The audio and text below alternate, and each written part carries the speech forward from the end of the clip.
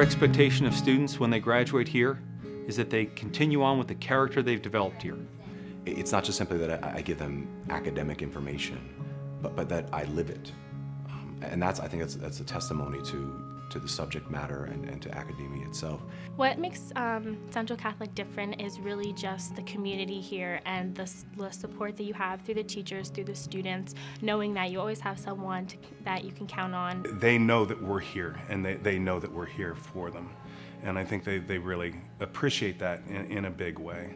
We take that opportunity to get to know the students, um, to individually, in groups, in extracurricular activities, at our mass, masses and other spiritual functions.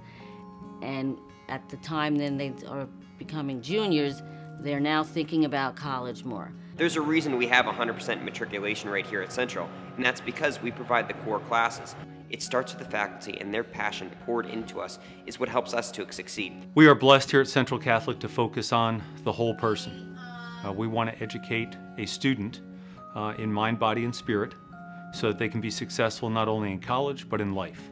When you're at Central Catholic and you're learning here, um, Christ is allowed to be the center of everything that you learn. They make that known to you, and they can definitely elaborate on how uh, he relates to every facet of our lives.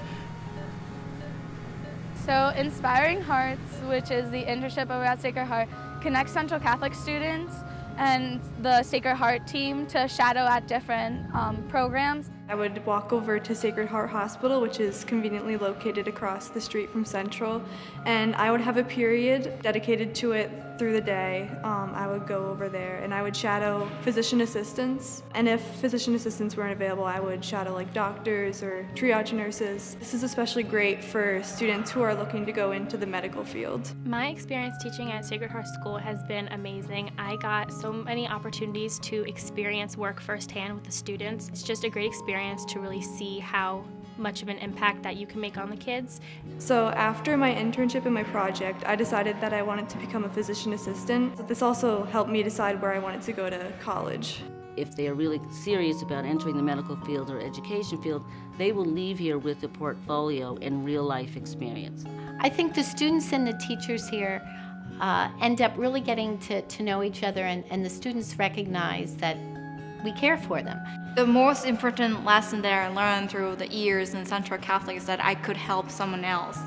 So, so it's not just simply a 44 minute a day thing where you know the bell rings, they're here, I teach them about something, they leave, and that's it. Um, it it's always lived um, in, in, in, a variety of different ways. I learned so much from my students. Um, those moments where they, they, they have uh, an insight that I, I never thought of. And I think they help us become better people as well.